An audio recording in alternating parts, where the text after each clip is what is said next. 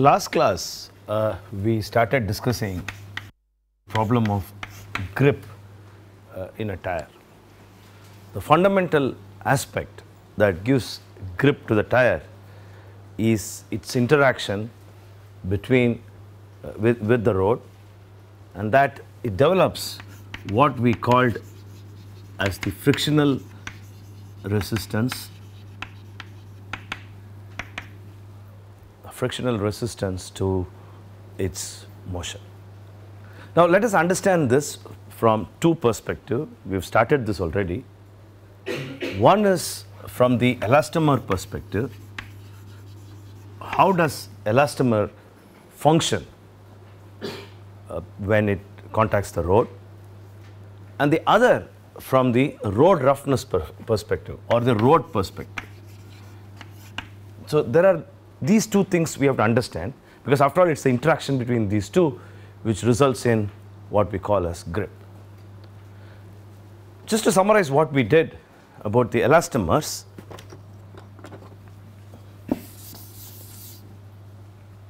we said that the elastomers are basically uh, elastic viscoelastic material.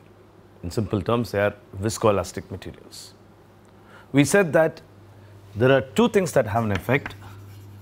One is the frequency and the other is the temperature.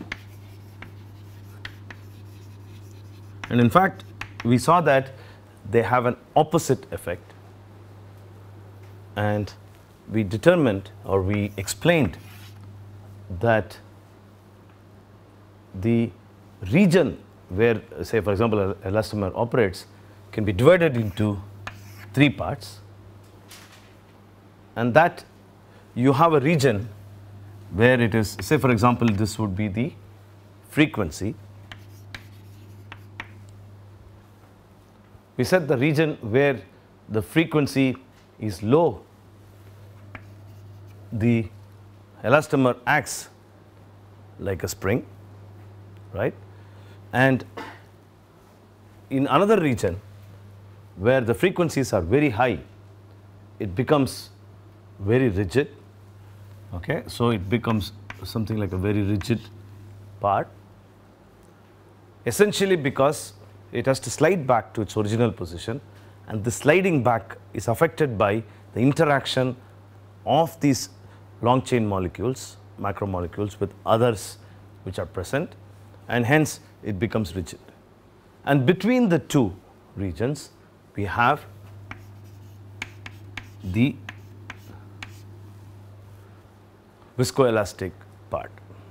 We said that the graph for the modulus goes like that and because there is a viscoelastic part at the center, if I now plot the energy that is consumed due to deformations, then it would go something like that. Right. This we said is the glass uh, corresponds to the glass transition temperature. Okay. So if I now put the temperature here, we said that this gra whole graph goes in the opposite direction and that what happens at higher frequencies happens at lower temperature and so on. Okay? So, this is what uh, we said yesterday. We said that there is a relationship between the two and is given by Williams, Landel and Ferry WLF equation. This equation gives a shift say in a for a frequency when you shift the temperatures. When there is a shift in temperature, a, you would see that there is a shift in frequency as well. Okay. So, we will come to that in a minute. Just summarize what all we said yesterday, last class. And we also said that there is a lag between the applied, applied force and the deformation, or in other words, applied stress and the strain that is developed. Okay, there's a lag between the two. So if I now plot, for example, the stress. And then plot the strain, the strain okay, develops. Is something like this. And that there is a phase lag between the stress and the strain given by the equation delta or tan delta is an important quantity in the study of viscoelastic materials. In your classes on vibration, you would have studied about, uh, or in controls, you would have studied about phase, phase lag, and so on. Okay, and you would have expressed uh, the quantities of interest in a complex plane. Okay, the complex plane is essentially used in order to bring out this kind of phase information. Hence, here we have what is called as a complex modulus for a viscoelastic material, which consists of a real part, which is called as the storage modulus, plus an imaginary part, which is called as the loss modulus. Note that there is nothing imaginary in this. The only thing is that we express the phase information through a complex quantity and call that complex quantity into real and imaginary. Right. You can say that this tan delta is an important quantity basically because that gives you the amount of energy that is dissipated. So, in other words, tan delta which is from here you can find out what is delta, tan delta can be written as energy dissipated. So, when there is a uh, when there is a loading unloading there is an energy that is dissipated and can be dis uh, and can be uh, looked at as ratio of energy dissipated to the energy stored. So, tan delta becomes an important quantity which tells us about the dissipation of energy.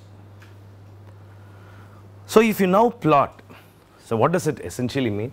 If you now plot say for example omega versus all these three quantities which is E prime, E double prime and tan delta the graphs would look something like this. We had already seen how E prime would look. So, E prime would look like that.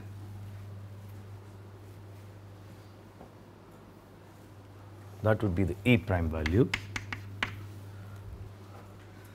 E double prime would look something like this.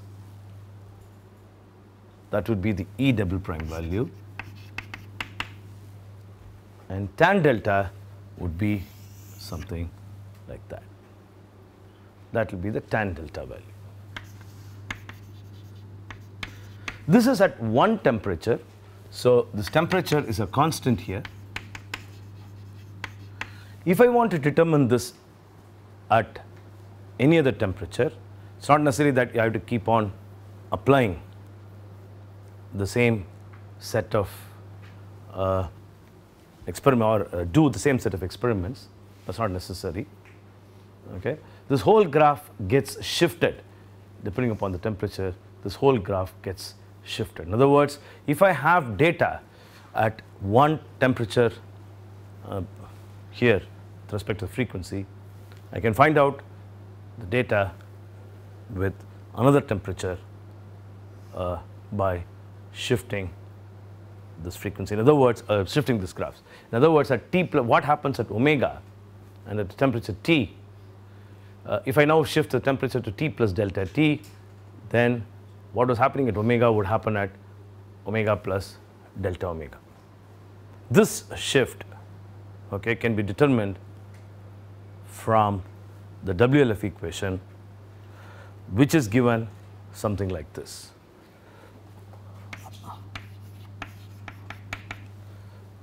Log of AT the shift is given by C1.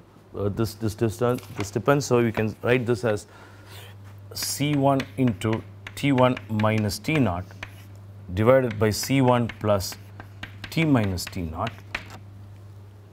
where C, sorry, uh, C2 into T minus T naught, where C1 is equal to minus 8.86 usually I mean it's not it, it varies. And C2 is 101.5 T naught is the reference temperature.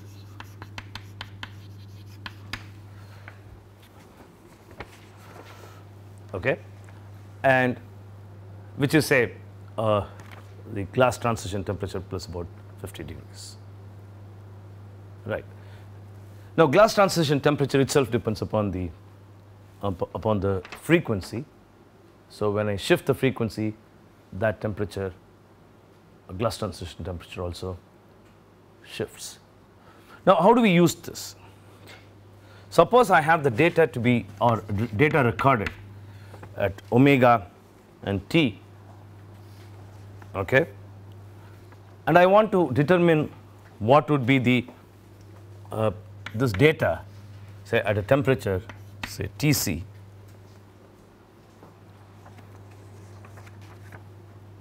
okay? Then what I have to do is to find out the shift say let me call that as q which is log of at minus log of atc and shift the frequency. And this is of course given in log so shift the frequency to that decade frequency. Okay, so each data point that is obtained in omega uh, t, okay, that is this experiment. Okay, now you, are you say, for example, you are plotting uh, this graph of log omega versus here if you have uh, log omega versus the value say E prime or E double prime and so on. Okay? And you want to find out what would happen to the in the new temperature, then you shift this a point say for the new temperature by this much amount, by that much amount. So this is the shift factor. In other words, this shift factor is the relationship between the temperature and the frequency. Any questions? So if you're increasing the frequency, temperature will, the transient temperature will Yes, yes, yes. So depending upon that's that's this relationship. So what happens? What is the relationship between frequency and temperature? So what happens at lower temperature happens at higher frequency. Okay. So that is understood. Correct. So this is just a mathematical expression for for this shift. Right. So usually one decade that is if there is a um, one order of magnitude in the frequency would result in a shift of say 6 to 7 7 degrees uh, is the shift you know that's what would happen okay that's the first part What does AT signify that? that is the shift that is the that's the shift so the shift is calculated by this formula. So WLF gives you actually the relationship of shift or relationship sorry relationship between frequency and the temperature okay? So that's what I explained now with respect to Q. It is in other words what it simply means is that I can do all the experiment at a master at a temperature at a particular temperature and call this as a master curve. And then I want it at any other uh, temperature okay I can do that uh, I can determine that not by repeating an experiment but by using this kind of shift factors. So that's what WLF tells us. Okay, um, that's a property which we will. T naught is the reference temperature, which is usually T1 is the temperature or T rather, not T, T where the temperature uh, at which I am determining determining the AT. So Now let us. Uh. Uh, that depends upon, see, what is the value of C1, uh, uh, you know, where do you apply, all these things depends upon the elastomer in question. Okay, for usually this is applicable for the range of interest for what we have, right? So 10 to the power of, say, suppose I have a 10 to the uh, power of 1 in a frequency at, at, or uh, uh, 10 to the power of minus 1, I want 10 to the power of 5, it's possible to do that. Before we go further, let us look at the frequencies of interest. Then we will understand how we can apply this. So let's understand what are the frequencies of interest. In order to do that, we have to now look at the road. So this is the elastomer behavior. We'll now shift to the road, right? Okay.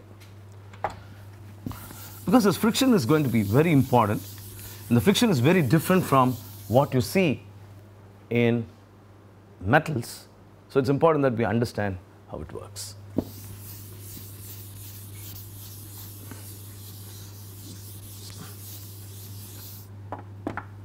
Okay. Now we shift to the road.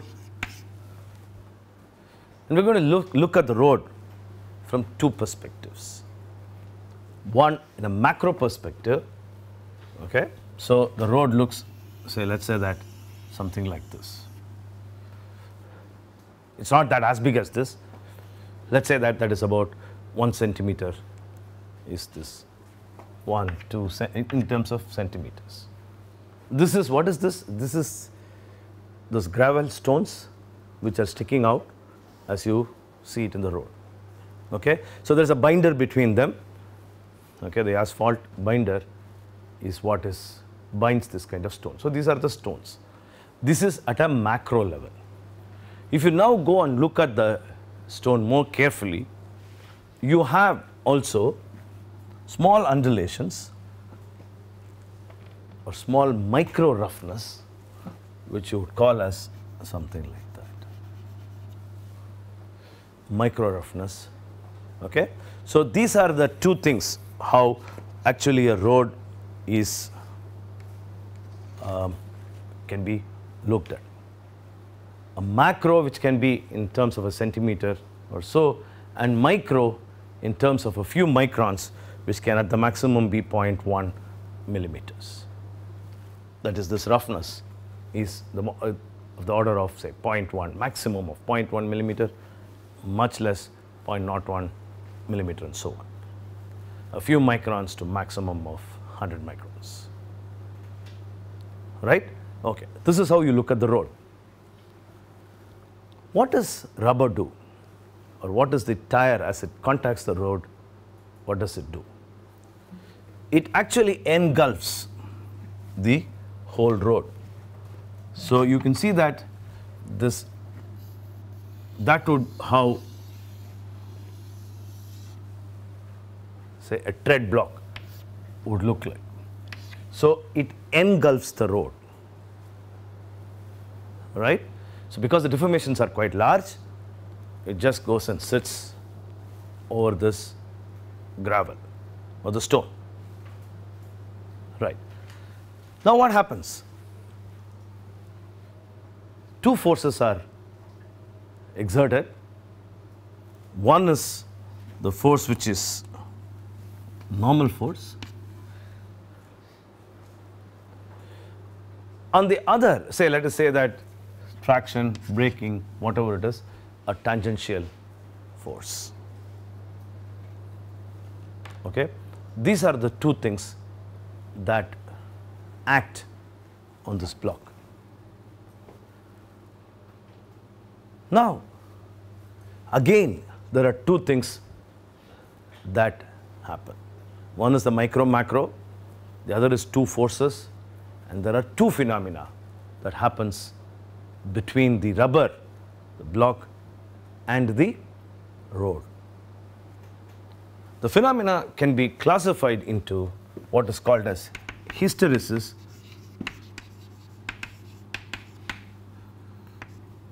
and molecular adhesion or addition. You can call this as molecular addition. Okay? So molecular addition ag- again happens at a very small length scales and hysteresis happens at a much larger length scales. Right. Okay. So let's quickly look at this because then we will go there and understand this. What is meant by what? What do we mean by this addition? Actually, these long chain molecules, which we represented by means of a simple model. Of spring and dashpot, these long chain molecules get attached to the surface, assuming right now that the surface is dry, it gets attached to the surface through what van der Waals forces or van der Waals bond uh, is what is formed between these long chain molecules and the surface. So they form this bond. Let us say that this is a rubber piece. Okay, they form a bond with the surface molecules or the surfaces that exist, right? The surface, and then when they are subjected to a force, these bonds that are present here, it breaks. So it sticks, breaks, slips, then again sticks, breaks, slips, and so on. So at the, at the, at the addition, at the molecular addition level, there is a sticking, slipping, sticking, slipping, and so on. So it is the it is the van der Waal bond that forms, breaks, forms, breaks, and so on. Right. But what happens here? What is this hysteresis and what happens here? That's a very interesting phenomena. And we already know that when a rubber piece is subjected to loading and loading, it loses energy through this phenomena of hysteresis. Okay. Now, let's say that th- for a moment, forget about that. We have normal forces. Obviously, the normal force would give rise to a contact pressure which would act something like this.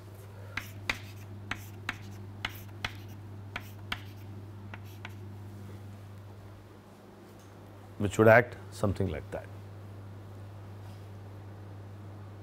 Now, now, when there is a lateral force that is that this block is subjected to, then obviously this kind of symmetric distribution, okay, which equilibrates the normal force, is no more maintained, and this pressure distribution becomes unsymmetric because it has to now equilibrate that lateral force as well. So, what was nice like this, which was equilibrating this, would also have a force which has to equilibrate this, and hence the vectorial sum of these two forces would be something like that, and with the result that the pressure distribution now shifts. Superpose this onto this, these two phenomena. What really happens at this point is that there is a slip. Okay, there is a slip, and this whole block can move out of this hill okay, and slide down. In other words, the loaded region, don't look at it as this big. You know, we are talking about this, this whole distance itself is one centimeter, like maximum of one centimeter. Right? So keep that in mind. So what happens is that this slips, it, it goes over the hill and slips. So when it goes like that, what was loaded becomes unloaded. Becomes unloaded. Okay? So when it slips it may again get reloaded and so on.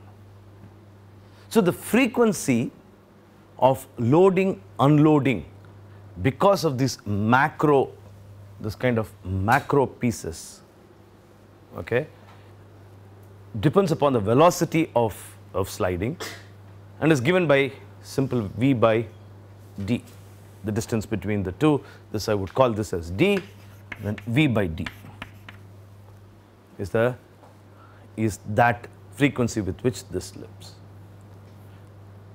The frequency with which that stick slip happens is much less. So if this is around 10 to the power of 4, this would be actually 10 to the power of 8. So that's the frequency at which it slips. So in other words, in other words, there are two things that contribute to what we call as friction. There are two things that contribute to what we call as friction.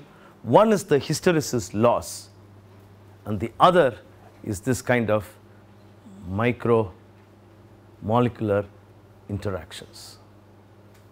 So that energy is what gets converted into a frictional resistance in rubber and can be written in a very simple form as the friction forces or the friction coefficient if you want can be divided into two categories one due to addition and the other due to hysteresis.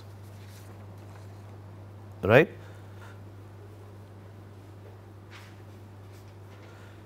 So we can call this we can uh, or we can quantify this by means of a simple equation this is from by Moore in his very good book on friction on of, of rubber. There's a book on pneumatic tires, very early book, very good book. So I'm taking this from there. So that's the reference. So that is given by uh, addition and let me let me write down that carefully. K1 into S into E prime by P power R into tan delta. And mu hysteresis is equal to K2 into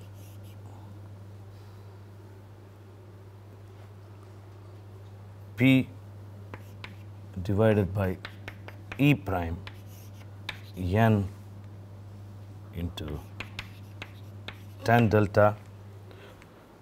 S being the effective shear strength. S is the effective shear strength of the material. P is the pressure that's acting, okay, the normal pressure that's acting. Exponent R is usually about 0.2 and N is greater than or equal to 1.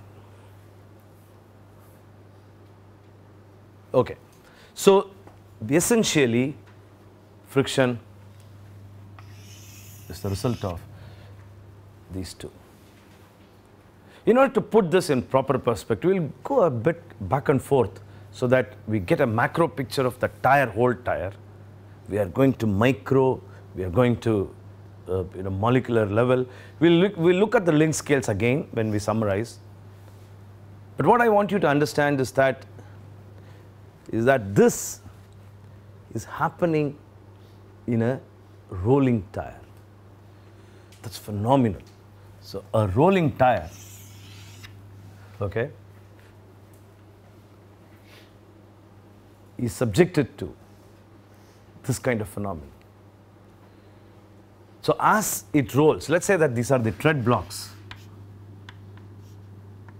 Okay, that's the carcass. Okay, on which we have what are called tread blocks. We saw that yesterday. So these tread blocks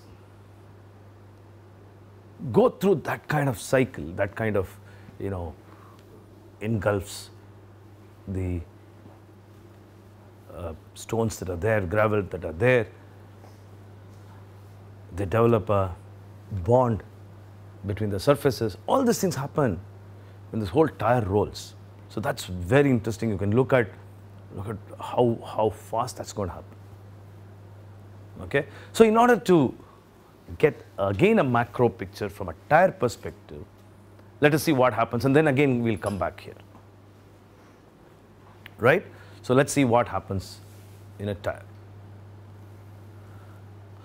Let us now consider a tire again, you know, in isolation and then tie up. After we finish that, we'll tie up the concepts that we have explained now with the tire.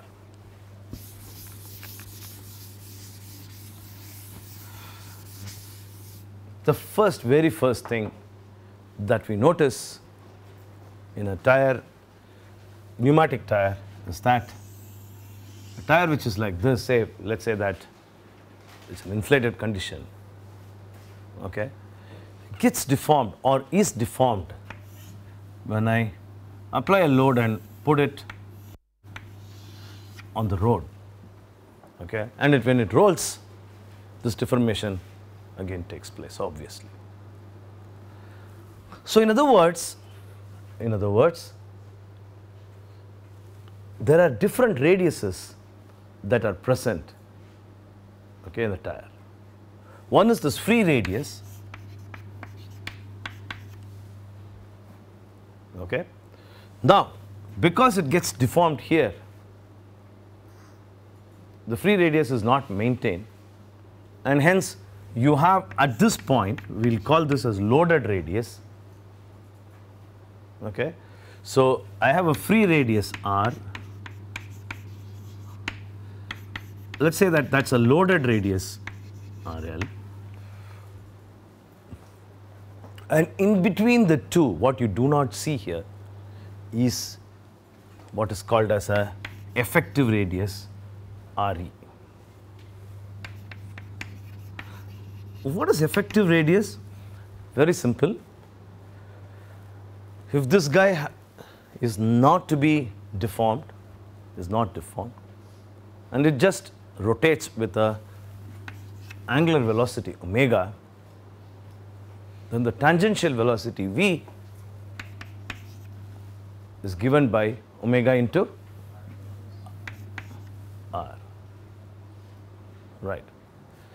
So, in other words, as the wheel rotates with an angular velocity omega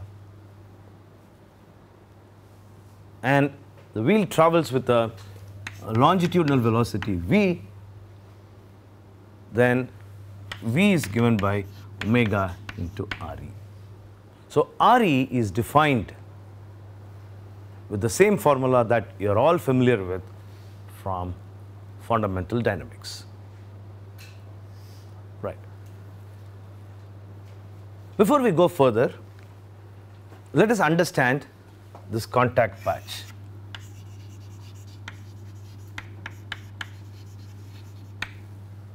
Okay. From a plan view, let's say that the contact patch looks like this. There's a lot of niceties in this. We will come to that a bit later. Let's say that that's the contact patch. First things first. When the tire is stationary, like that, it's not, omega is not there.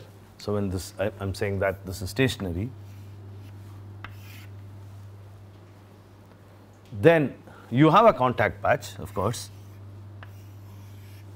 the region where the tire is in contact with the road. Okay. There are different points on the tire which sit at different point uh, on the road. So they all these guys sit in different points of the road. Right. Very simple to understand, nothing very difficult. On the other hand, let us see what happens to the contact patch as the tire rolls, as the tire rolls. Okay? In order to understand that, let's do a small thought experiment. Okay? And the thought experiment is necessary to dispel some of the uh, ideas which you may have, which I have over the years students asked. Okay? So, we are going to do this thought experiment. Let us say that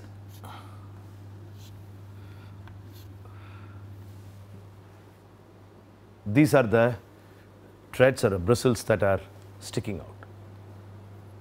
Right? So let's say that you're going to sit there. Okay, don't worry, this is only a thought experiment, you're not going to be hurt. Just sit there.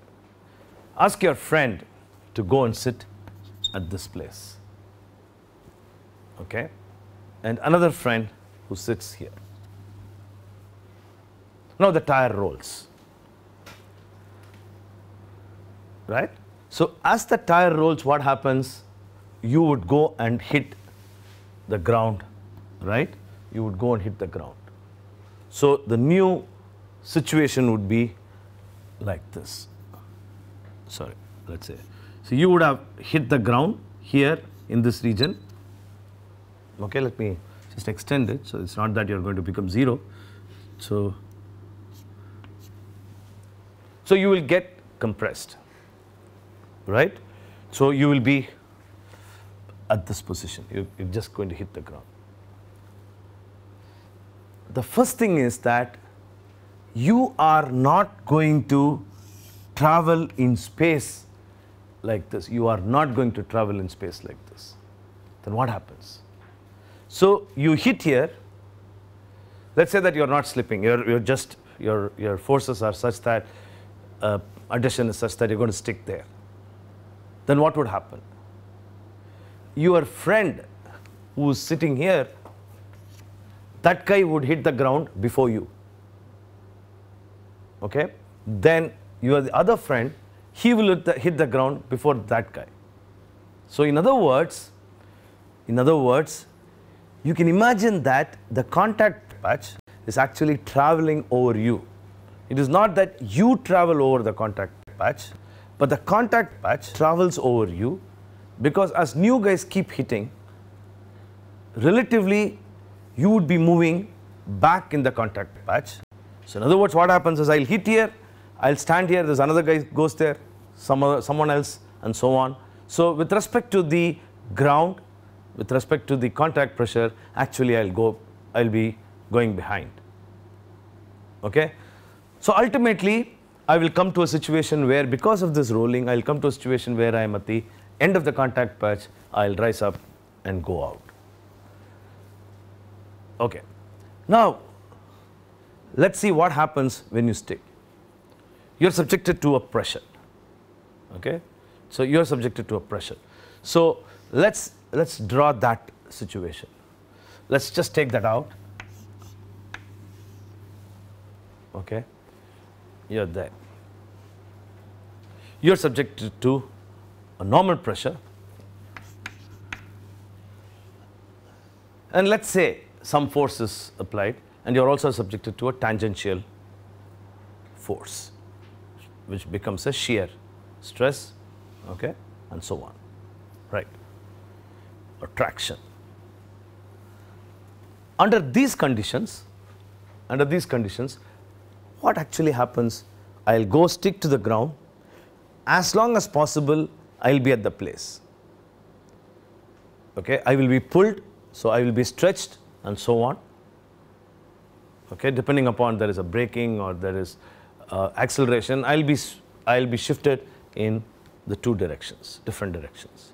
But i'll stick to my ground because i have already established my relationship with the ground and he's a nice guy he's holding me.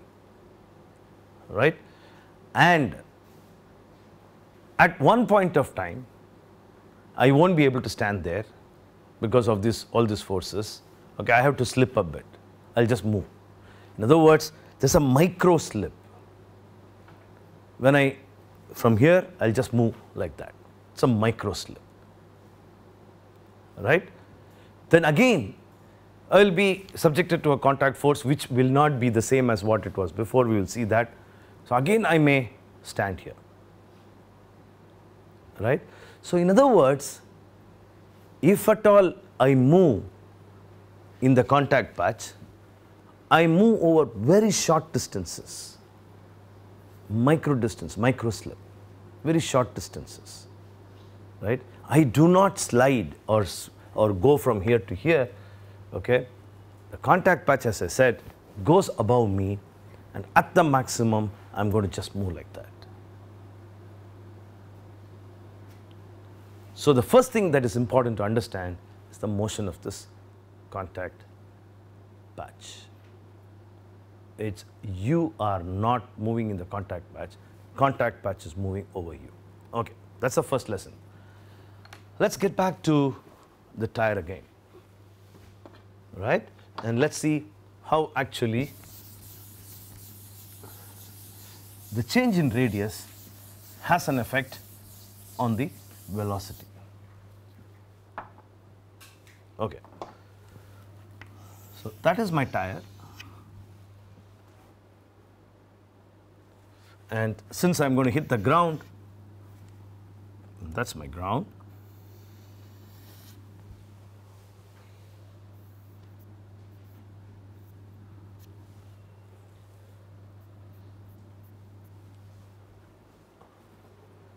I can't penetrate the ground obviously. So I'll be like this.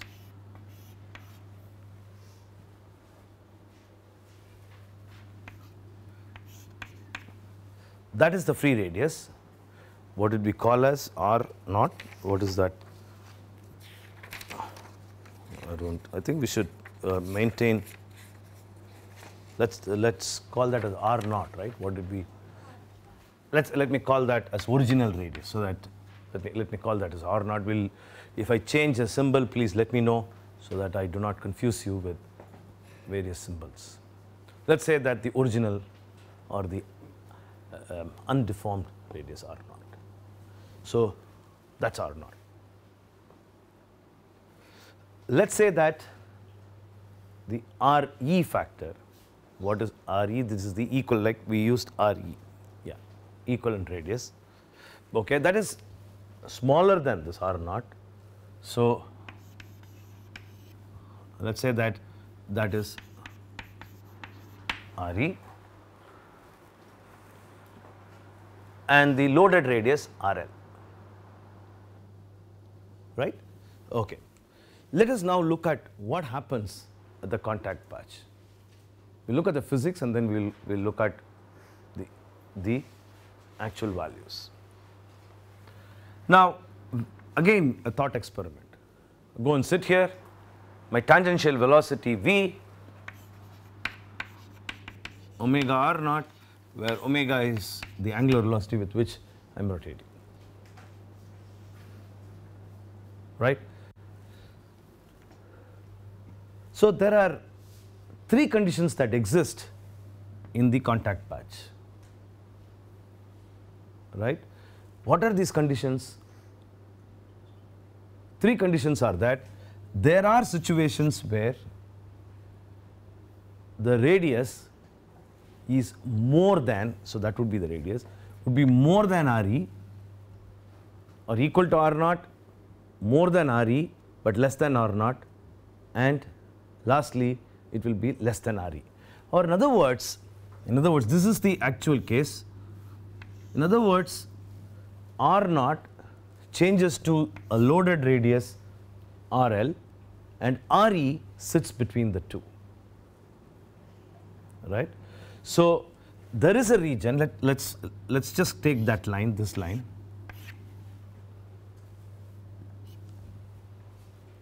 When I just hit it I am R naught. Somewhere at this point my radius is equal to RE that is the point and somewhere at this point or the center I am RL. Again as I go back I have RE, go out I am at R naught, just go out. So there is a continuing continual variation of continuous variation of, of radius from R naught back to R naught. Clear? Okay. Now, let us now look at the velocities. The velocity when at the tangential velocity here is omega r naught. right? V tangent, let me be very clear, let's so that you get don't get confused. Let's say that that's the velocity with which the vehicle is moving. Either you can look at the velocity of travel V and a stationary ground or you can say that the wheel is stationary and the ground is moving, doesn't matter, it's a relative velocity. Ground is moving in the opposite direction, doesn't matter. Okay. However, uh, you want to imagine, you can do that and it's not going to make a difference. Now, obviously, this velocity, tangential velocity, will be more than the velocity of travel, which is equal to omega re. So, in other words, here is a region where the tangential velocities are more than the velocity of travel v. We call that as more. Here exactly the same. From here to here, it is less. Here to here, it is more. Get up and go, you're back to R naught. Oh, that's a complex situation. Imagine that this is happening as the tire rolls. The guy is really confused. Initially, he is happily coming, hitting the ground. Suddenly, you know, he's slipping in one direction. Then he meets RE, and again goes in the other direction. Then again comes back to a situation where he has to go the opposite direction. Wow, wow. So, mechanics is very complex, and, and that's what makes tire mechanics very interesting, right?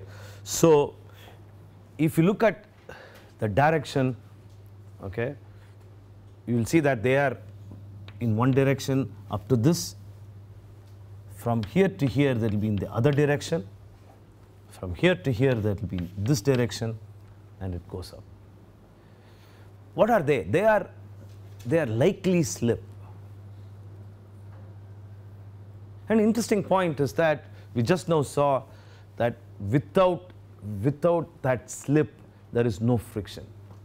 So your friction concept has to now change because friction is now contributed due to hysteresis.